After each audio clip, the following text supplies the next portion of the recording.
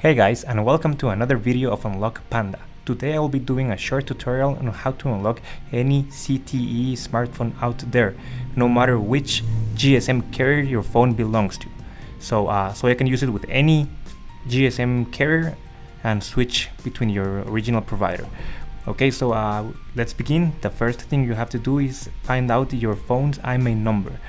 Uh, you have to do this in your dial screen, dial star hash 06 hash. A 15 digit number will pop up on your screen. Make sure you write down this number as we will need it in the following step. Okay, now you have to go to your internet browser and go to the webpage unlockpanda.com. In here, it will ask you for some information about your phone. So the carrier is the original provider which the phone is currently locked to. In this case, it's a phone from United States AT&T. Then the manufacturer, as I said before, this is a tutorial for a ZTE phone. Then the exact model, uh, specifically on this phone, it's a ZTE ZMAX 2. And then enter the IMEI number. This was the 15 digit number we found out on the previous step. Then enter the email where you wish to receive the unlock code you have the option to enter a phone number. I'm not gonna do that. And then at the bottom you can see the price and the estimated delivery time. Okay so let's go ahead and click unlock on the following page you can see a short summary of your order. Make sure that everything is correct. If it looks good you can go to the bottom part and we're gonna proceed with the payment. I'm gonna do it with a PayPal which is a very secure method. So unfortunately guys this is not a free process, but uh, believe me, it is totally worth it. So let's just enter the account details from my PayPal account. And then after you're done with the payment, you're gonna be receiving an email just like this, depending on the estimated delivery time. The email contains detailed instructions as well as the unlock code. So let's follow the instructions.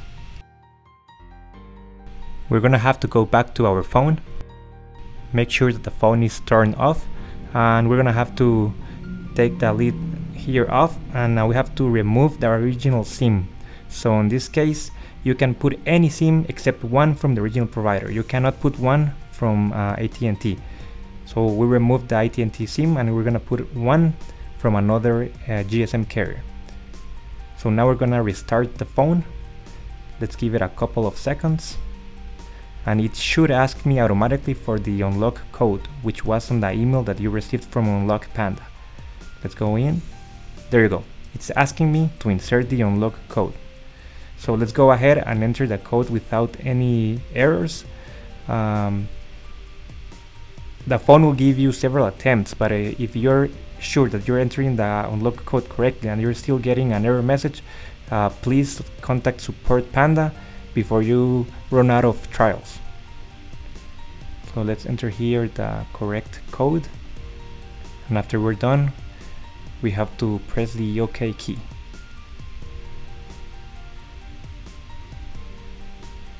And I think we should be fine. Okay, let's press the OK. And there you go. As you see, successfully unlocked. Now your phone is completely factory unlocked. You are free to use it with any GSM carrier worldwide. I hope the video was useful and I'll catch you on the next one. See ya.